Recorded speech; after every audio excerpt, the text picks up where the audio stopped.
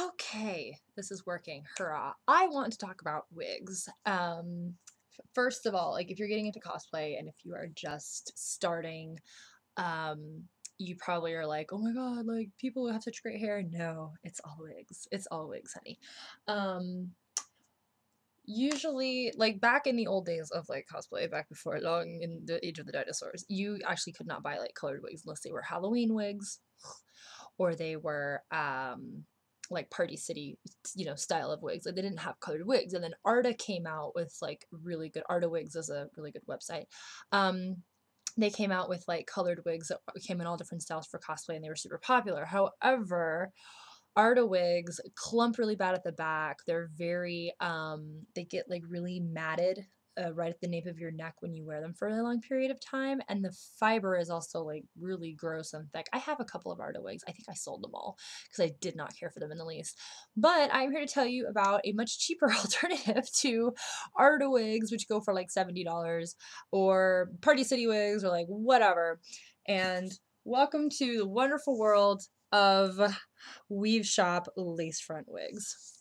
Now, lace fronts, in case you didn't know, are wigs that are made, they are like hand tied in the front, and they have this lace that goes around and it looks like a natural hairline when it's on your head. Um, you can glue it down, cover it with makeup, like whatever, and you can cut the lace as long or as short as it needs to be, and usually they're really well made on the head. Now, this is my Wonder Woman wig, uh, Gal Gadot, Gal Gadot, oh my god, Gal Gadot Wonder Woman wig that I picked up from a weave shop in Orlando. Um, and I got it for, if you can believe it, $20 for a lace front wig. And I got it for $20 because it happened to be the last one available and it was a display wig. So I got this $20 wig and I was like, okay, I've got this $20 wig. It's matted on the bottom because a lot of people have tried it on. It's kind of messy, it's kind of shiny looking, and it's tangled. So what am I going to do? Step number one to caring for your lace front wig. First of all, you're going to want to get like a head to store it on, probably, especially if you're washing it or something like that, which is step two, but let's not get ahead of ourselves. I bought this styrofoam head from like, I've had this for like years. I don't know where this came from. Um, I've had it for a really long time. I bought this forever ago and I drew eyebrows on it for fun because I'm fun like that. But you just hold it on on the lace with pins, which are what you see sticking out like the Saw movies.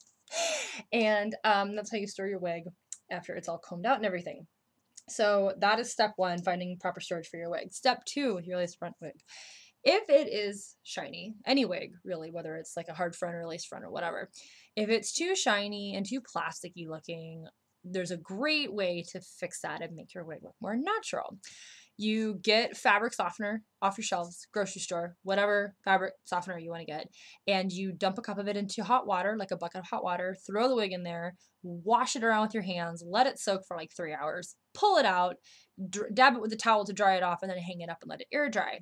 And your wig, oh, it will smell like beautifulness. I can't put smells through the webcam, but it's it smells so good. Um, and then you're going to comb it with a metal comb because a plastic comb will cause a lot of static uh, on synthetic fibers. I need a metal comb. I broke my old one. It was a dog brush that I got for $6.99 at a Publix, and I'm using a plastic comb now, but that's okay because we make do with what we've got.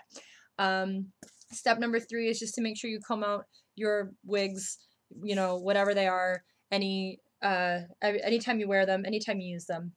And then you will have yourself a lovely, lovely wig. So yeah, that's my little wig video. Thank you for watching.